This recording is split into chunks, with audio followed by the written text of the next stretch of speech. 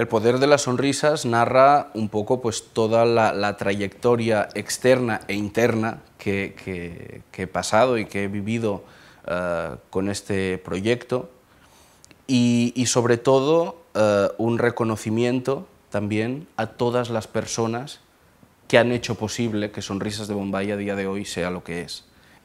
Yo creo que la humanidad subestima el poder inmenso que tiene una sonrisa.